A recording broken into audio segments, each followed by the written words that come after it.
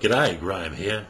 Now the villagers in Bulgaria are rather scared because some bears have come out of hibernation extremely hungry. Now they've killed a few people, they ripped them apart.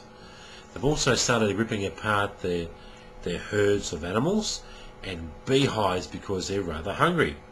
Now the villagers are now extremely scared to go to wander around the forest and get firewood and stuff like that. So they've got armed guards to shoot the bears. Now the villagers are saying that the government should do something about these bears. Perhaps the government should provide food for the bears so they don't attack the villagers. Yes, it's a very interesting um, problem, isn't it?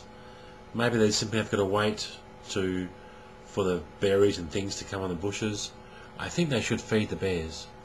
You know, I've never been to Bulgaria, but I tell you what, I've been eaten by a few bears. I am recording, thank you very much.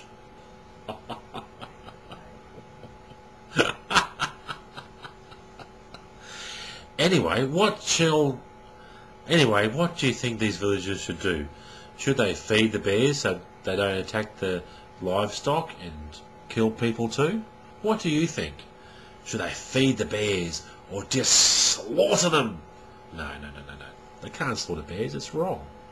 Anyway, please tell me what they should do. Capture the bears, feed them, or kill them. Anyway, take care, my friends. Stay safe. Bye for now. Write me, comment me, love me.